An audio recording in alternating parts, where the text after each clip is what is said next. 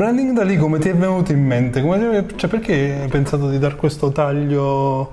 Ma uh, quando ho visto um, il tipo di, di, di, materiale che si poteva mettere in mostra di questa collezione, eh, ho pensato subito all'idea di di una serialità, di una possibilità di interpretare da lì come un imprenditore che mette il suo marchio su tutto ciò che gli capita a tiro fondamentalmente. Ma, cioè, ma secondo te era, è stata una c'è stata una consapevolezza forte? Io credo proprio di sì, cioè, da alcune sue interviste, da eh, alcune cose che si leggono, che possiamo tutti leggere in, nelle sue autobiografie, eh, lui era assolutamente consapevole della, del potere dei mezzi di comunicazione. Sì, questo sì, assolutamente. E li ha utilizzati a suo vantaggio.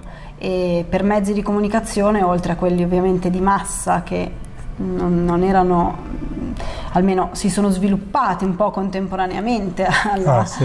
alla vita, no? cronologicamente parlando, di Salvador Dalì, eh, mezzi di comunicazione dell'immagine possono essere considerati anche le stampe e tutto ciò che è un supporto, diventa supporto di un'immagine. Certo, ma quindi cioè, possiamo quasi dire che da lì in qualche modo è stato un influencer ante litteram. Eh, Ma questo... sì, guarda... C'era uno che utilizza... avrebbe utilizzato i social a manetta oggi. Assolutamente, mm. sì sì, un po' la tesi di fondo è questa, che la sua attualità, il fatto che ancora oggi ne parliamo, non è solo dovuta ovviamente al suo incredibile talento e al suo immaginario che ha espresso così eh, bene, ma è dovuta soprattutto mh, alla, al modo in cui lui ha utilizzato quelli che oggi sono i nostri social. Prima ovviamente che esistessero, che fossero anche solo concepiti e quindi in questo senso è, rimane attuale, è riuscito a creare eh, una tale mitologia di se stesso da essere diventato eterno fondamentalmente, sempre attuale.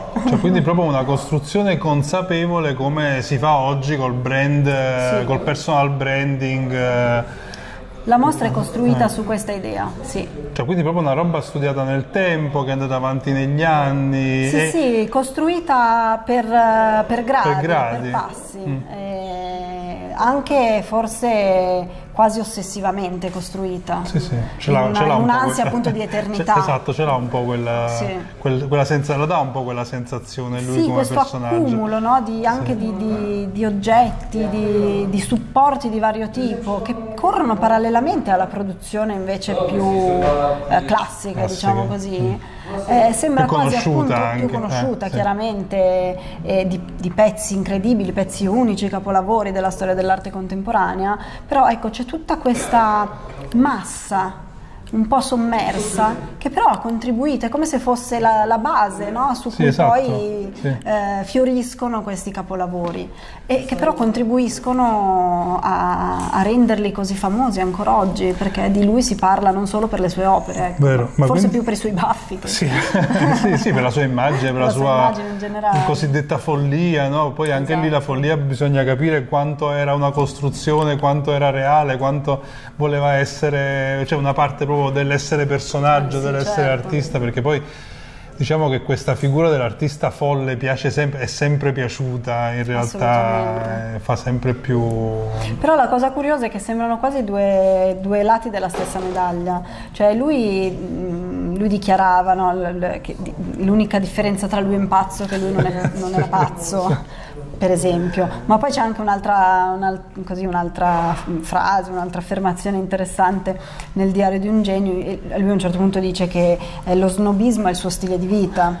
E da una parte quindi lui costruisce quest'aura intorno a sé no? attraverso anche questo modo di porsi così eccentrico, però tutto invece questo lavorio continuo di opere, produzione di, di, di marchio va in una direzione completamente opposta, mm. quasi in mm. contraddizione con sì, la, no, la, il, il, ritrarsi dell'artista in una posizione preminente rispetto alla massa, cioè è come se volesse un po' tenere i piedi in due scarpe, mm, sì, sì, quindi sì. sfruttare le possibilità dei mezzi di comunicazione per crearsi un'immagine che però è un'immagine molto eccentrica, esatto. quindi è curiosa questa, questa ambiguità. Questa dicotomia, questa insomma, dicotomia, che c'è un po' nella sua figura. Esatto. Ma ehm, cioè, la cosa interessante di questa mostra è che quindi ci sono tutta una serie di, di opere, di pezzi, anche inusuali se vuoi, cioè abbiamo trovato anche delle cose forse mai viste in giro, comunque poco conosciute. Poco, molto poco conosciute, senz'altro. E, ehm, è curioso perché appunto è una specie di esplosione del, dello stile di Dalì no? su, su, tutto, praticamente mm. su ogni supporto, come dicevo prima, questa dalinizzazione che lui persegue eh, ossessivamente, tanto da appunto apporre il suo stile su, non so, piastrelle che sono state prodotte per una piscina di un ministro di Francisco Franco che poi non è stata mai realizzata per esempio. Oppure mm, beh, il più classico il primo forse dei, dei mezzi di comunicazione e di, il primo dei supporti della riproducibilità tecnica dell'immagine che è il libro. Ecco ci sono diversi libri in mostra che appunto contribuiscono a creare a costruire questa mitologia. E pezzi abbastanza particolari particolari come il, il, cofanetto di vinili che è stato pubblicato nell'85 che riporta eh, l'incisione di un'opera lirica, un'opera poema scritta da Dalì eh, con musiche di Vakevich che era un musicista d'avanguardia e su libretto di Manuel Vázquez Montalbán, quindi una cosa molto particolare. E, mm, che tra l'altro è intitolata Être Dieu, quindi essere Dio, e sostanzialmente ha come protagonista Dalì che interpreta Dio, Questo quindi la, l'apoteosi dice, della sì, sua... La dice tutta, questo è il pezzo centrale di tutta eh, la mostra. In realtà è il pezzo, sì. è il culmine di tutta la mostra sì. perché è un po' insomma la, la, l'atto finale. Fantastico, cioè veramente, veramente comunque un percorso geniale, cioè non, effettivamente quando si dice di lui il genio catalano lo è a tutti gli effetti, ma mm, che cosa, mm, cioè che se, secondo te oggi che senso ha eh, continuare a fare mostre di, di, un artista che comunque tutto sommato l'abbiamo, è stato visto, stravisto, rivisto, ormai bene o male forse tutti boh, lo conoscono quasi a 360 gradi, cioè che cosa c'è ancora da dire da lì? Beh, guarda, io mh, mm, credo che un po' come si diceva prima, no? leggerlo come un precursore degli influencer è, mm, è, forse motivo per continuare a guardarlo, perché forse ci dice qualcosa mm. dal passato, però ci dice qualcosa del nostro presente. Quindi è chiaro che bisogna un po' cambiare eh, prospettiva. Che cosa ti piace di più invece di tutte le opere che abbiamo portato qua? Qual è la tua cosa preferita? Allora, eh, questa è una domanda difficile perché in realtà ci ho pensato mentre guardavo tutte le immagini per scegliere, per distribuirle nel percorso. Eh, ho, sempre, cioè, ho avuto grosse difficoltà a scegliere cosa mi piaceva di più, ci ho pensato più volte. Mi affascina moltissimo, eh, ahimè, l'unico pezzo unico in mostra, quindi contrariamente a tutta la logica della mostra, che è un piccolo quadrettino con una farfalla, due farfalle veramente, e che poi hanno insomma, innescato anche una, una piccola parte mm.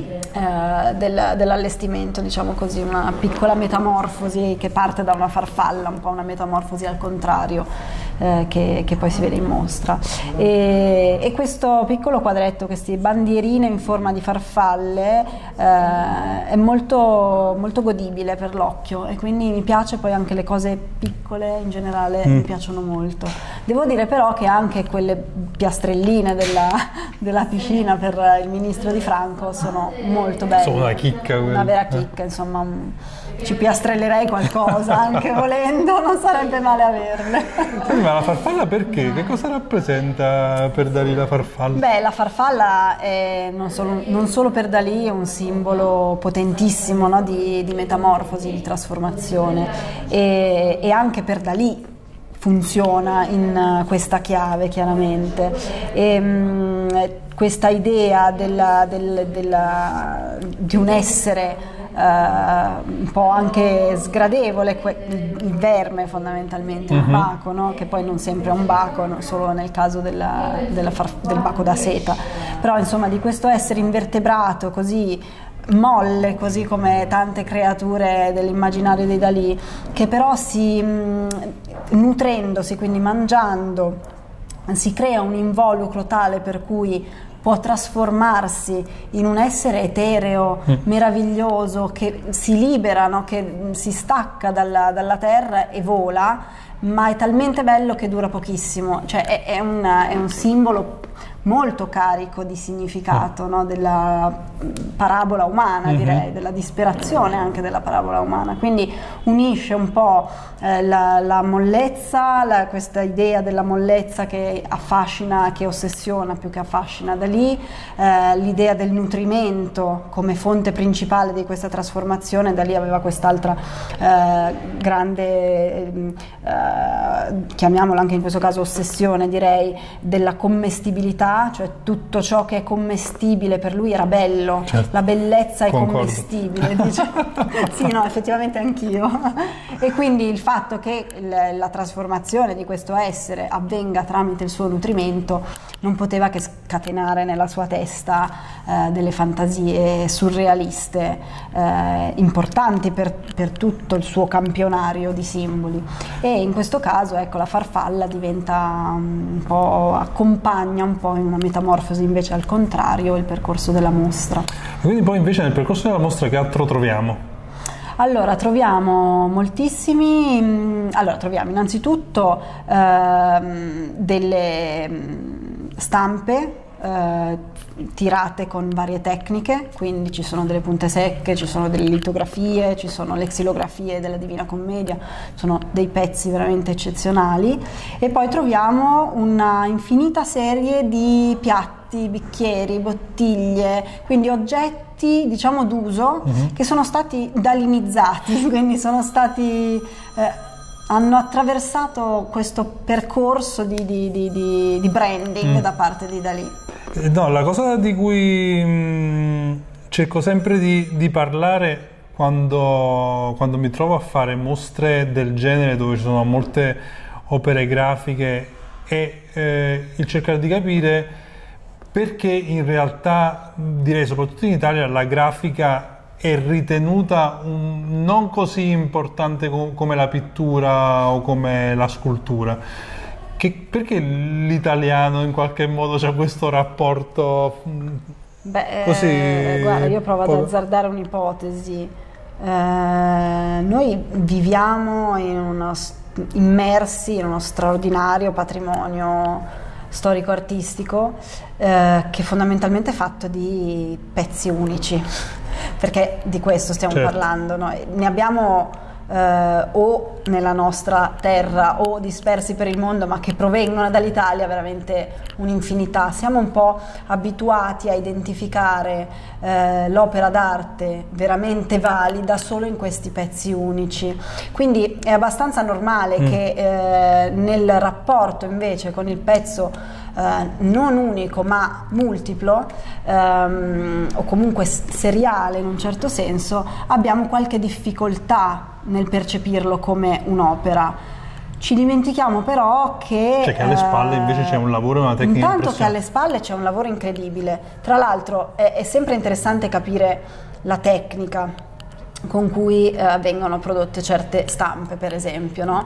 Eh, ad esempio è, è incredibile eh, come la, è stata tirata, è stata elaborata la Divina Commedia, le mm. xilografie della Divina Commedia, che hanno richiesto una cosa come 5 anni di lavoro, ma non da parte di Dalì, da parte dell'intagliatore che ha realizzato le 100 tavole, 100 matrici su legno, quindi intagliando il legno per poter stampare con una tecnica appunto calcografica eh, le 100 tavole di illustrazione della Divina Commedia, provenendo sì dagli acquerelli di Dalì, però poi del resto li ha fatti lui, di fatto, li certo. ha fatti questo Raymond Jacquet, che era un intagliatore eccezionale.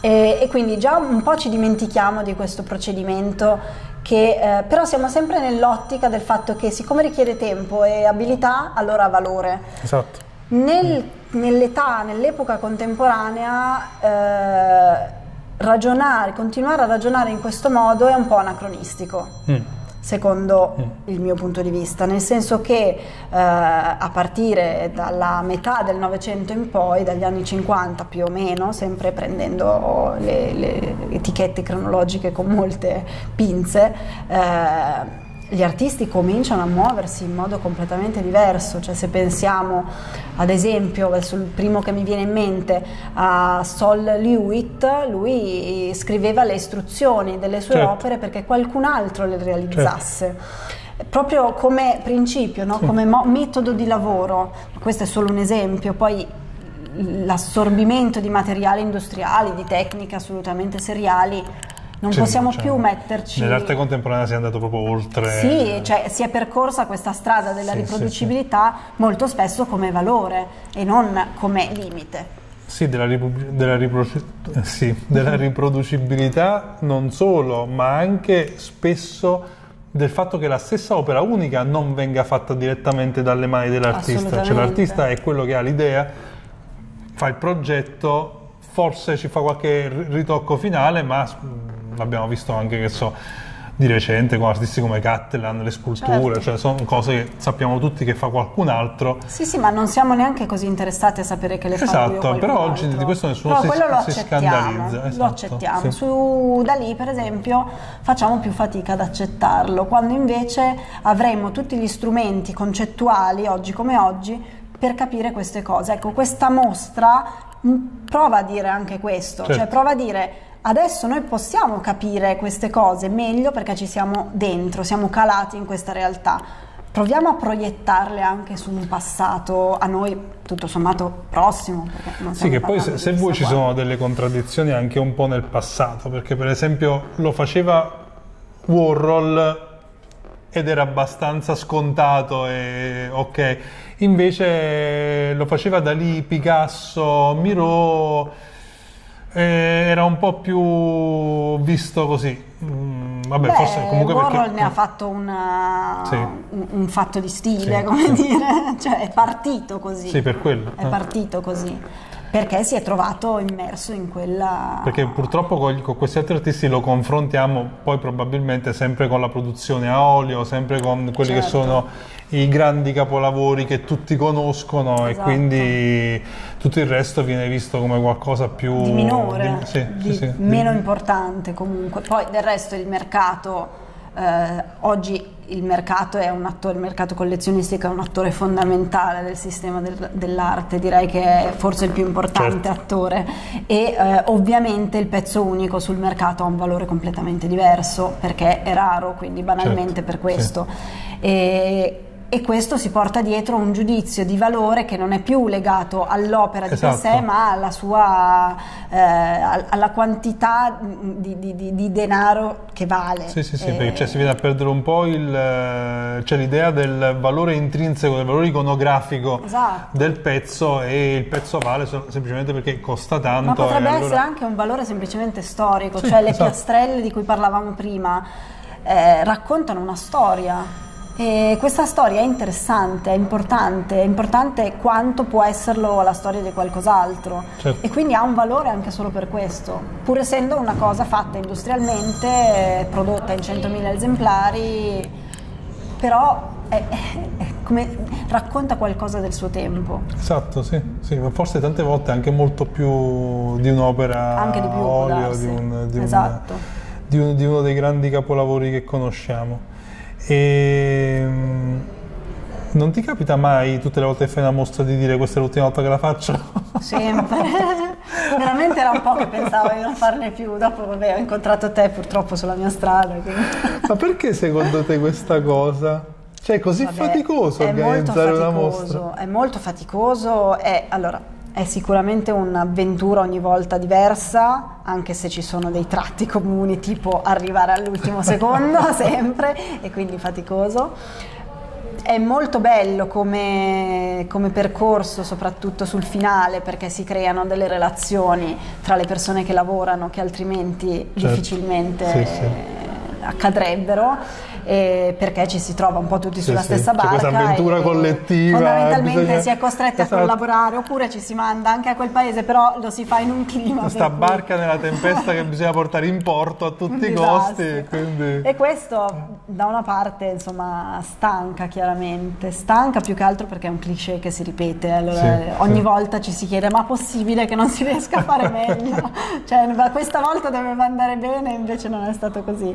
Però vabbè, personalmente personalmente ho un rapporto con um, il mondo delle mostre abbastanza controverso di amore e odio, mm. diciamo così. Allora, forse tutti quelli che le fanno ce l'hanno. Sì, probabilmente eh, sì. sì. Però ecco, ne sono stata un po' lontana per un po' di tempo e, e non è detto che non mi allontani di nuovo.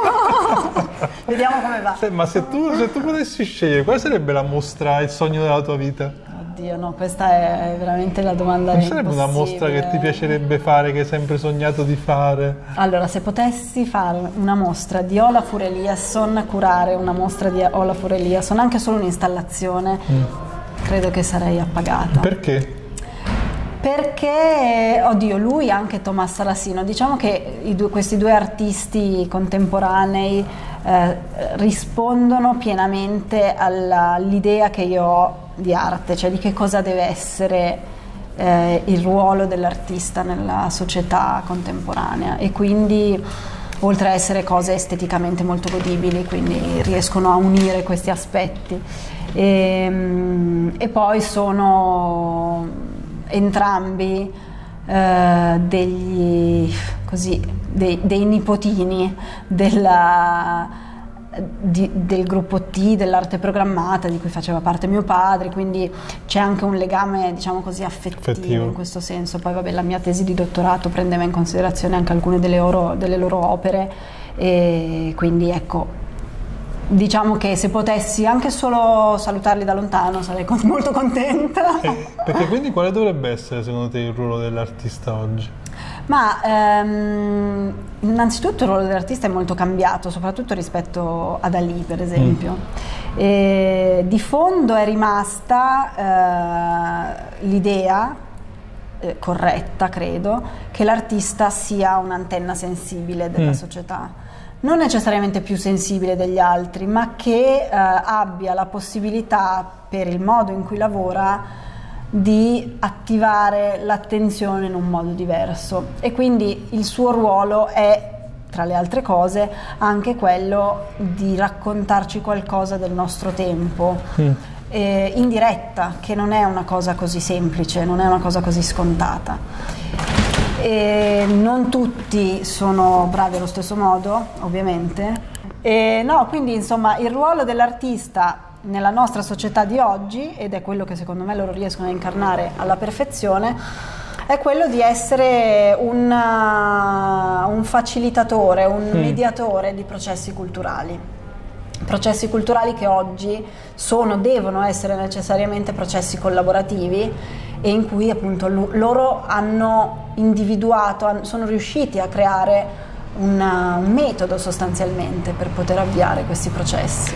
Però il fatto che, cioè io sono un po' sempre combattuto su questa cosa perché a volte il fatto che l'artista eh, debba darci, no, allora non debba darci, in realtà è quello che fa spesso l'arte contemporanea, è fare dei, eh, delle istantanee di quello che è la società, di quello che sta succedendo a volte però mi sembra che lo faccia in maniera eccessivamente documentaria, cioè quindi che questa cosa poi dopo in qualche modo si appiattisca su se stessa, mentre invece mh, grandi artisti come Dalì per esempio sono stati molto più visionari, cioè in qualche modo se vuoi ti indicavano anche una strada verso, verso in avanti, in dentro comunque verso un altrove, no? Comunque in un posto um, in cui la bellezza ha un, uh, uh, un, un ruolo ben preciso e uh, forse